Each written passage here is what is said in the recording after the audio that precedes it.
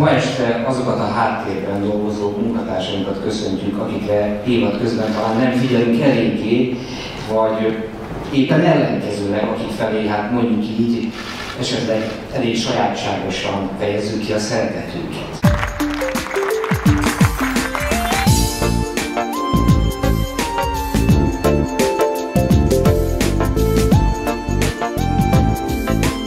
Nagyon boldog vagyok, hogy elnyeri ezt a díjat. Én azt gondolom tényleg őszintén, hogy nála lesz a legjobb kezekben.